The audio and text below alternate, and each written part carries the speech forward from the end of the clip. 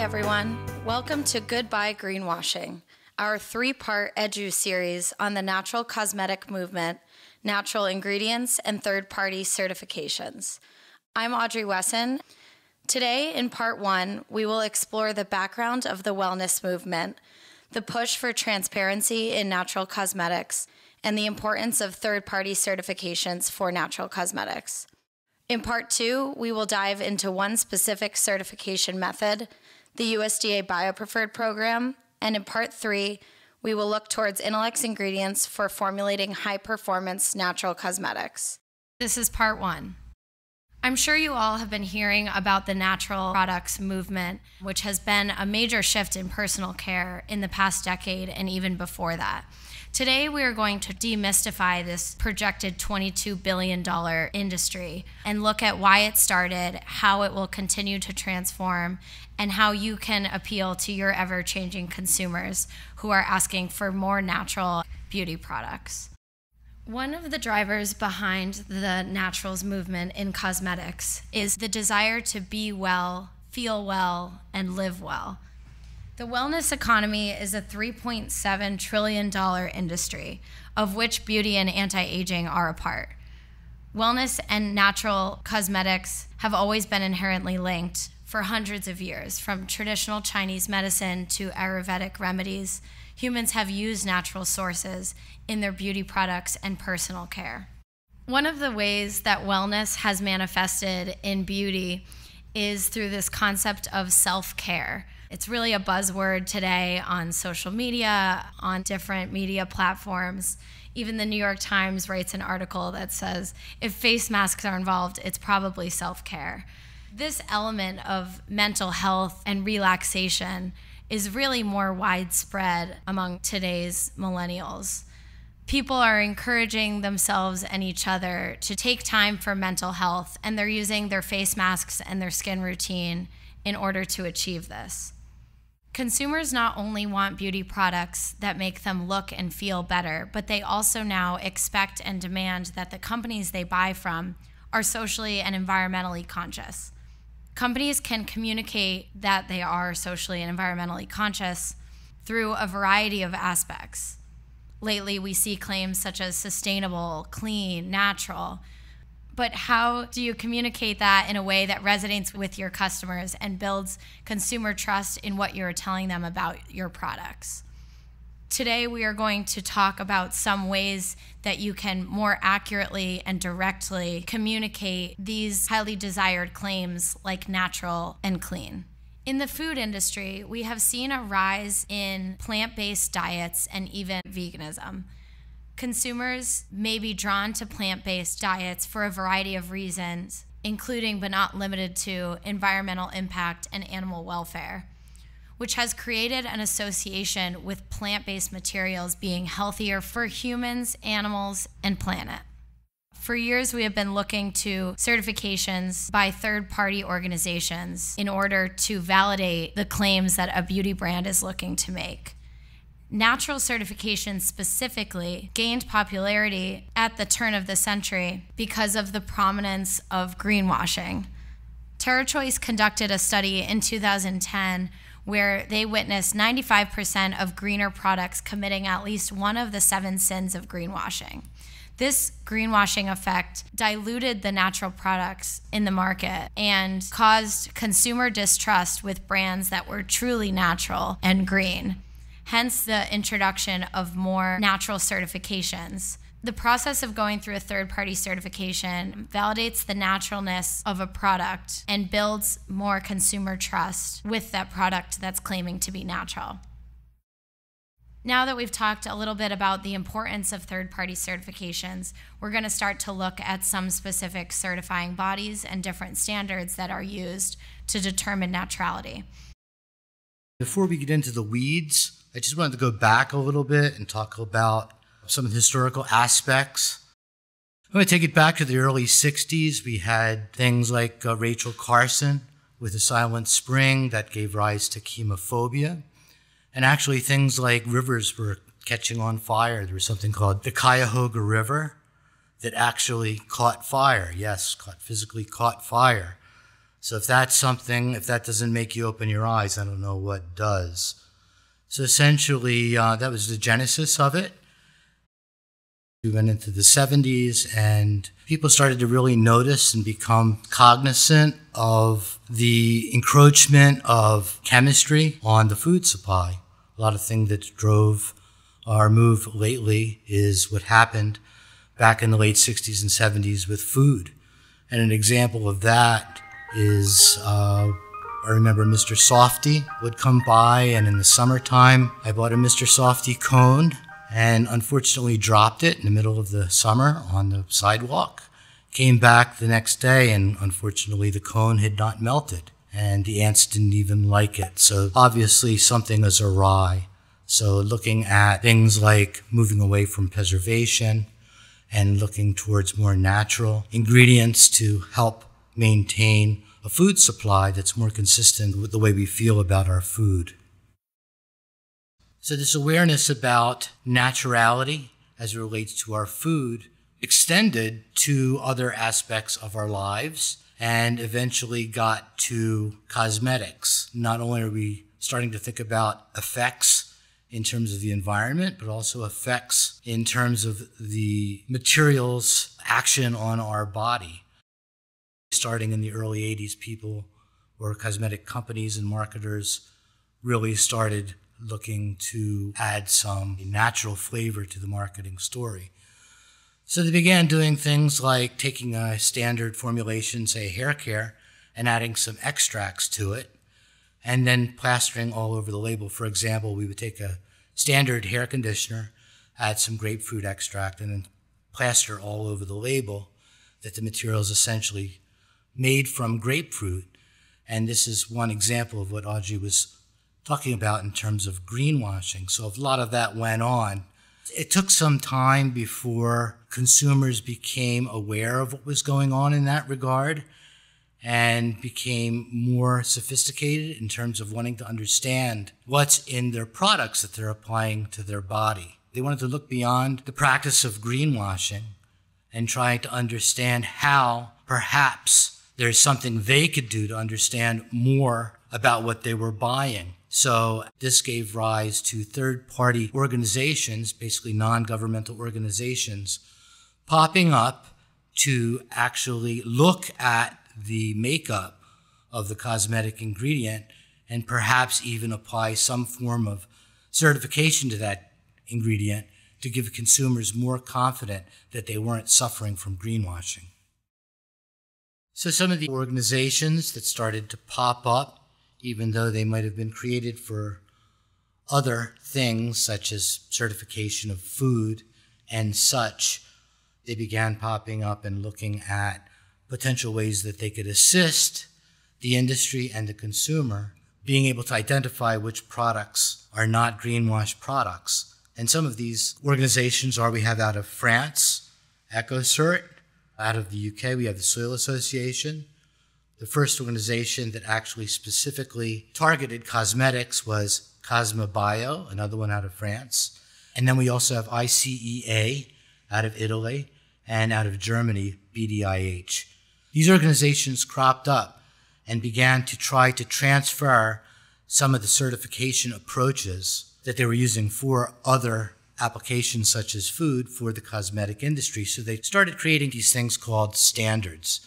And the standards are essentially documents that put together requirements summarizing the aspects of a particular product, finished cosmetic product, and that of course translates back to the ingredients that relate to what we're going to call the naturality of the product. And at that point, the standards were different. So, for instance, Inolex as an ingredient supplier may want to obtain certification from all of these certification organizations. But since the certifications were different, perhaps in one we wouldn't satisfy all of the requirements, but in the other we could. And that became a problem for many ingredient suppliers and even cosmetic marketers. So there was a demand for perhaps some sort of agreement between these groups. And in 2010, they actually unified and created something called the Cosmos Standard. And since that point, each of the individual certification bodies, although handling administrative aspects of the certification independently, all use the same standards to rate the naturality of the individual ingredient and or finished cosmetic product. Talk a little bit about the Cosmos standard. First of all, it's a very comprehensive document. It's actually 47 pages, and it outlines requirements not only concerning the ingredient itself, where it comes from, but also toxicological aspects of it, and also aspects of how it's made and how those manufacturing techniques may impact the environment. Some of the key points are the source of the matter used to produce either the ingredient or the finished product. Uh, that would be mainly focused on plant based materials and maybe some other aspects of them, such as whether the plant based material was derived from seed that's actually genetically modified. We call that GMO, genetically modified organisms. And when we talk about GMO, we're really talking about the plant itself being of its DNA, if you will, of genetic modification or modifications occurred through manipulation by humans. Another aspect is, in many cases, to produce a different chemical structure from an original structure or the fundamental structure provided by the plant material, we have to use something called chemical modification. Well, that can occur through chemical synthesis, chemical processes that are used by chemists and engineers around the world, but also through biotransformations a lot has gone on more recently in creating new biological species, if you will, such as bacteria, that are the result of genetic modification. For instance, we may take a fragment of DNA from a bacteria and put that into a fragment uh, from a different bacteria, even a plant organism. We call this transgenic modification, and create a new organism that would not possibly be created by nature. Then, if we use that organism to do that biotransformation, there are some concerns in terms of both what are we creating? Are we creating something that wouldn't occur through nature? And also, what could potentially happen if that genetically modified microorganism was not contained? So, in addition to GMO, GMM is also something that the Cosmos Standard focuses quite a bit on. One thing that the Cosmos Standard does allow, though, when using GMM, is the use of the genetically modified microorganism to create the enzyme. Now, it's the enzyme that comes from the organism that actually does the work for you. And what they say is if that enzyme could be created outside of where the biotransformation is to occur, that is allowed. It can be isolated. One of the key elements of the Cosmos standard is the practice of utilizing green chemistry principles. Not only does Cosmos allow only certain chemical process in the creation of chemically modified materials, they strongly emphasize that you use as many of what we call the principles of green chemistry as much as possible. And here we'll quickly review some of the principles. Number one, we have pollution prevention. Uh, some examples of that are not, of course, dumping any chemical byproducts into streams, uh, allowing materials to escape from the process vessels into the air. We want to do as much as possible in terms of preventing any chemical species from exiting the space where the material is being produced. Number two is atom economy. That one sounds pretty exotic, but in fact, it's very simple. That's essentially the amount of stuff that you get out relative to the amount of stuff you put in to the synthesis. So, say if I take A and I take one part of A and I get 0.9 parts of B out, that in terms of atoms would be an atom economy of 90%. So, you want to use a process that conserves as many of the atoms in the original starting material as you translate that down to the final product. Three, less hazardous chemical synthesis. Synthetic organic chemist, which I happen to be, know that many times there's different pathways to get from point A to point B. And in certain instances, maybe there are two pathways, pathways one and two, to get from point A to point B. And perhaps pathway one would be maybe essentially very economical, if you will, from a dollars and cents point of view, but also may pose greater hazards to the workers who actually have to perform the process. So we may choose something that may be a little bit less economical, a pathway two, to provide a pathway to get from A to B that's less hazardous to the workers who are actually performing the synthesis. Number four, designing safer chemicals. Clearly, we want to provide a material that does what it's supposed to do, but we want the material to minimize potential adverse effects to both the body and to the environment. Number five, safer solvents and auxiliaries. Solvents in many cases tend to be more hazardous materials. They tend to be volatile, but they're essential in many cases in chemical synthesis. However, with excellent use of technology, you may form a pathway that allows you to make that chemical transformation without using the solvent. However, if you're stuck with the solvent, maybe instead of using a petrochemical solvent that has some negative safety characteristics, you find something that's greener in terms of the amount of CO2, for example, that is emanated when it's produced. Number six, design for energy efficiency. Energy efficiency is important. It's good, sound chemical engineering principles. You don't want to waste energy. So I think this would be an obvious inclusion into the 12 principles of green chemistry. We don't really want to design for energy inefficiency. Seven, using renewable feedstocks. That is using something where we define a renewable. That would be either plant based or animal based feedstocks and essentially steering away from non renewable feedstocks, which essentially means petrochemical feedstocks. So use plant based feedstocks. Eight, reducing derivatives, in many cases to go from point A to the final product, point B. You may have to go through various steps using a particular approach. And if you can cut out some of those steps, typically called making intermediate compounds or derivatives, you're moving towards a greener process. Number nine, use of catalysts. Sometimes many individuals are concerned by catalysis because it sounds scientific, if you will. But catalysts are really good. What a catalyst is, is something that you can use that reduces the energy required for a reaction. So obviously that ties into principle number six. Using a catalyst, say, may allow you to perform a reaction at significantly lower temperature, and therefore you're saving the energy required to go to that higher temperature. Number 10, designed for degradation. Back in the olden days, in my day, you would not necessarily think about this. Really, you wanted materials to last forever. But now we've learned through various experiences, most recently being the one concerning microplastics, that you may not want the material to last forever and you want it to degrade.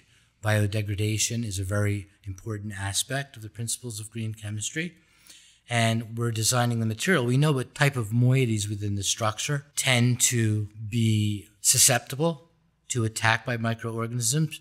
So by design, we build those moieties into the molecule to make it more susceptible to degradation down the road. Number 11 is real time analysis for pollution prevention.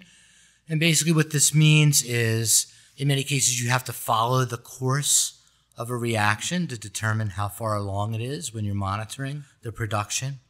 And this involves taking samples, taking them to the laboratory, and performing destructive analysis. That means when you perform the analysis, you actually destroy the material. And what's coming along quite nicely, especially since the 80s, 90s, and now into this century, is something called real time analysis, where you can actually use modern technology for example, a probe that tells you the analytical profile of the material during the course of the reaction in real time. So you save the use of the laboratory reagents and you also save some yield because you're not taking material out of the reaction space. And lastly, we have inherently safer chemistry for accident prevention. Again, that's more in line with number four. If you have a choice of a certain approach, you want to design into the chemistry, which in turn transfers to the chemical engineering pathways that lead to unit operations that are safer from an operator perspective or for a local community perspective. In summary, all of these principles of green chemistry are good for humans, good for the environment, and also allow us to stick with the tenets that are outlined in the Cosmos Standard.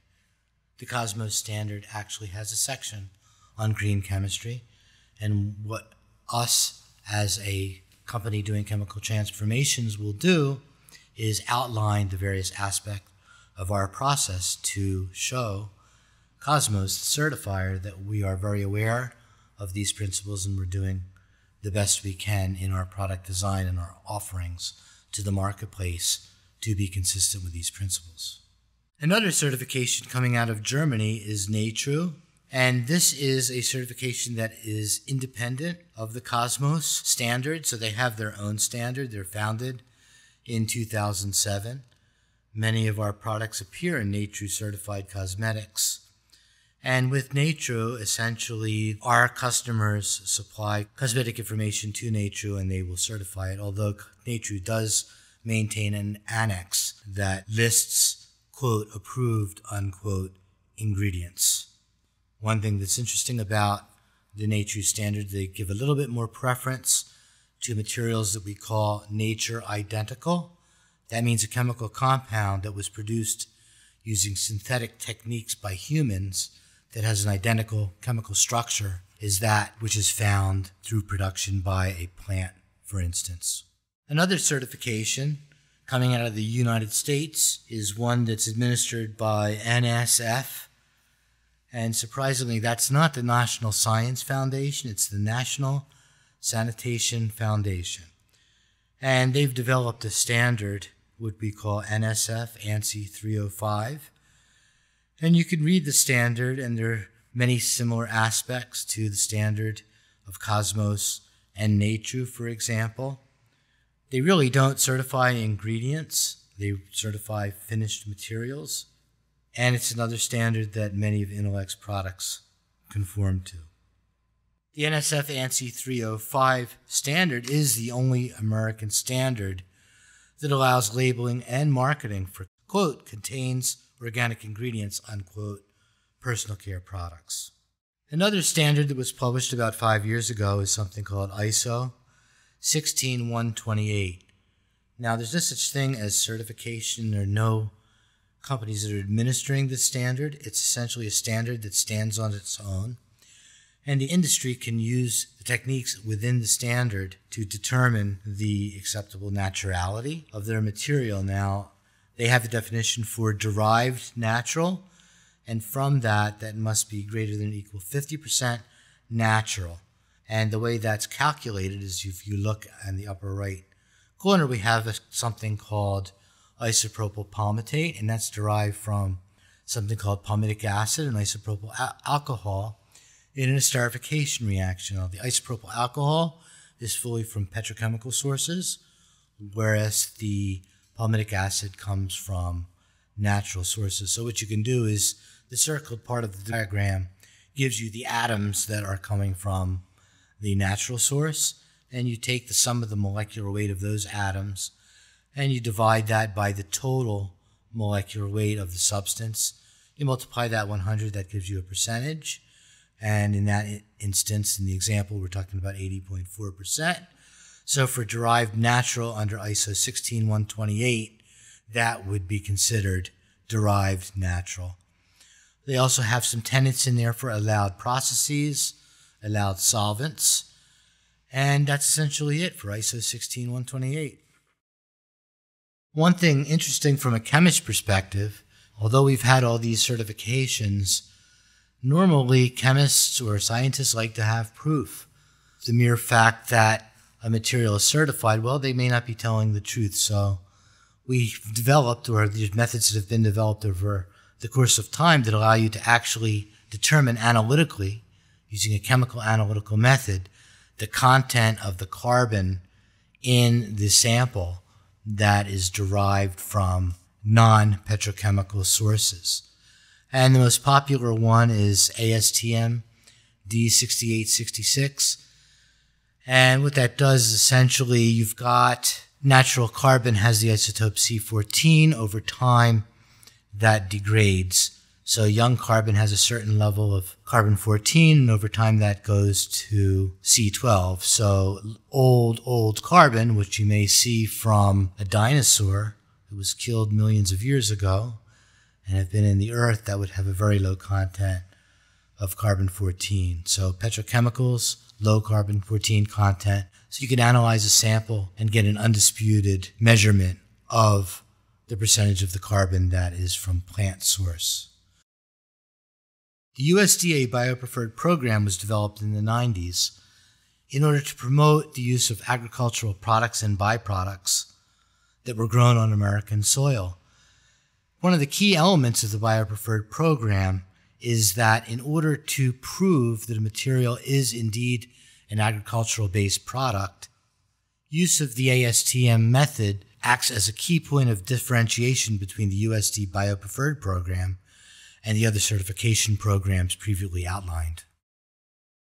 As opposed to subjective measures, this program is the solution for a quantitative measurement of naturality and allows brands to be the most transparent regarding how natural their products are. Getting your products certified by third party organizations is a great way to communicate to your customer that the formulation is natural. As we know, the natural movement in cosmetics is not going away anytime soon, and differentiating your brand from the offenders of greenwashing is becoming increasingly crucial. The USDA BioPreferred program is one great way to accomplish this. In part two of the Edu series, we will host Kate Lewis from the United States Department of Agriculture to discuss the benefits of this program and the process for getting your products certified bio-based through the USDA BioPreferred program. We hope you've enjoyed part one, and please join us again next time for part two of Goodbye Greenwashing.